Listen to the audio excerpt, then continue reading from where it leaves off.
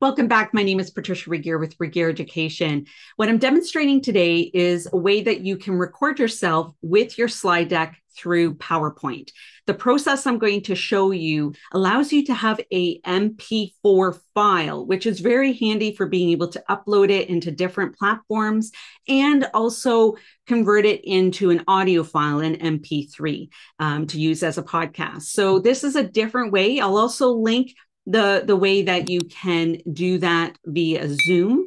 But if you like to record in your slide decks itself, it's a great opportunity, especially if your organization doesn't use Zoom.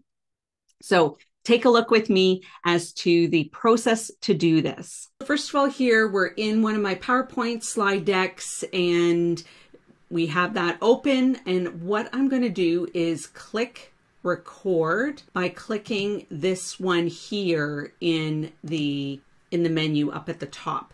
So you'll see there is another record here on the right.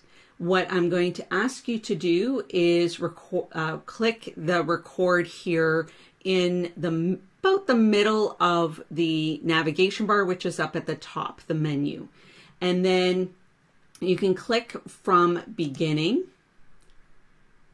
and then what that will do is show you in the corner of your slide. When you click that from beginning and you see yourself in the corner of the slide, this box will also open up. Now I'm using two monitors. So on my one monitor, I am seeing myself on top of the slide and on the other monitor, this is what I'm now seeing as well.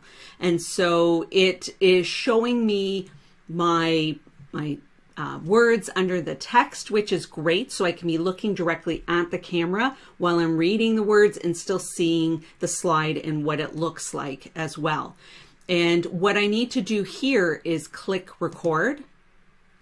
It'll count down three, two, one and then it will start recording the file. That is very helpful to use as an MP4 file. So it's not locked in with only the slide deck itself. It's a separate file that you can use in a variety of different ways.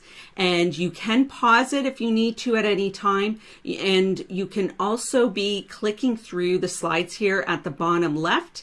I'm on slide one and when I click it, it's showing the animation within the slide, which is great too.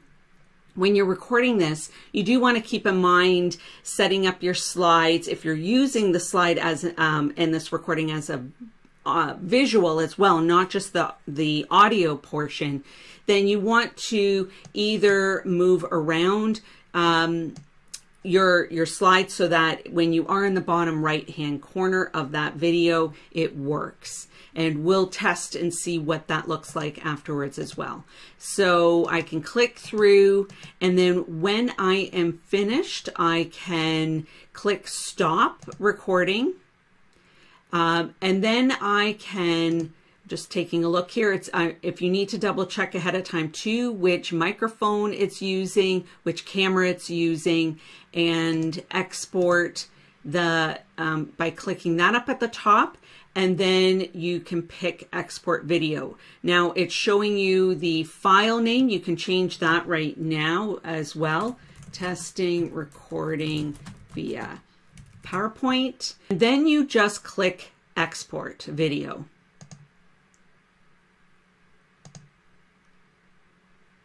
And that will process. Now, file location's on my desktop, so I can see that here as well. It's showing me the video resolution, and it just takes a few minutes depending on how long your recording is. The longer recording, the longer it might take to export that MP4 file that you're wanting. And if you need to re-record, this is where you would click on clear recording and start over with from the beginning.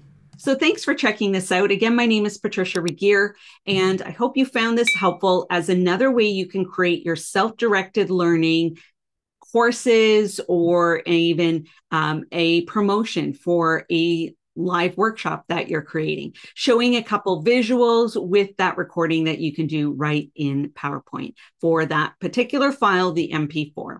Thanks for checking this out. And one quick final hot tip if you don't re- record the entire slide deck, and hit export for it to process. If, as I did with the test, it still processed the entire slide deck, even though I wasn't talking throughout all of it.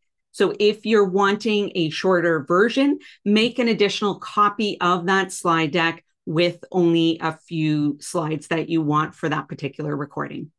Thanks for checking this out. If you're, um, and you can customize the export as well. Okay, so when you click that customize, this is where you're looking at if you want high definition um, or ultra, or if you need a smaller size as well, you'll want to double check if that smaller size impacts the audio at all. But, and that is more about the video quality. Here, you're using recorded timings and narration or not. You have the different choices here as well. And then um, seconds spent on each slide. Um, you can adjust that, but you can also be working that manually when you're recording. And then you can click that create video.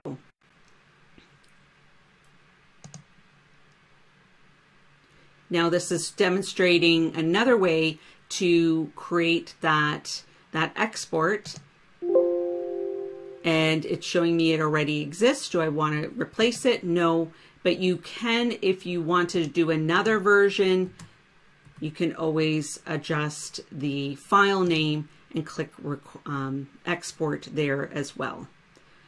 Now let's take a look at what that recording looked like and sounded like. I'm doing another test without the screen recording so that we are actually checking the sound from the mic I want it to be using and the camera I want it to be using. So this is a good test. So before it's finished, it won't let you and it'll give you an error file. So you definitely want to wait for that. Um, I'm seeing here at the bottom that it's exported the MP4 and it's working on the second one. So I'm seeing that progress bar right here. I'm going to X the the um, the second one and you're seeing here on the first one video exported successfully so it just takes some some patience on that